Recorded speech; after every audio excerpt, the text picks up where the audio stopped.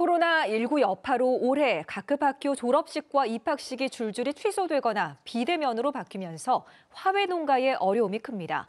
산업 기반마저 무너질 위기인데 곳곳에서 팔아주기 운동 등 화훼 농가를 돕는 움직임도 나타나고 있습니다. 서승신 기자입니다.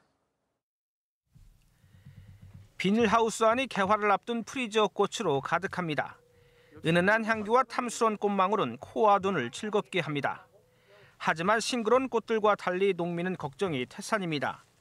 코로나19 여파로 지난해 올해도 각급 학교의 대면 졸업식과 입학식이 줄줄이 취소되면서 판로를 찾기가 쉽지 않기 때문입니다. 꽃시장이 뭐 행사도 없고 졸업식도 없고 가지고 뭐 완전히 거의 뭐 침체 상태지 뭐. 튤립을 키우는 이 농가도 사정은 비슷합니다. 졸업과 입학 특수가 사라지면서 출하량과 수입이 모두 30% 넘게 줄었습니다.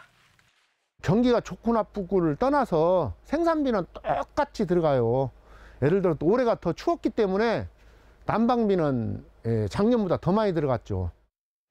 한 은행 창구 앞에 꽃다발이 정성스럽게 쌓여 있습니다. 방문객과 금융상품 가입 고객에게 사은품으로 나눠주기 위해서입니다. 화훼 농가들의 고통을 조금이나마 덜어주자는 취지인데 앞으로 더 확대할 계획입니다. 전북농협 전 직원들은 어, one table one flower 운동을 좀 전개하겠습니다. 오프라인 매장인 로컬푸드나 하나로마트에서도 어, 생화 촉진 운동을 적극 전개하고 지난달 꽃 도매 시장에서 꽃다발 등 절화류 거래량은 120만 속으로 한 해 전 같은 달보다 8.4% 줄었습니다. 금액은 22.9%나 감소했습니다. 코로나19 여파로 그 어느 때보다 힘든 고비를 맞고 있는 화훼 농가들. 산업의 기반마저 흔들리고 있는 가운데 당분간 이들을 지킬 수 있는 소비 촉진 운동이 필요해 보입니다. KBS 뉴스 서승시입니다.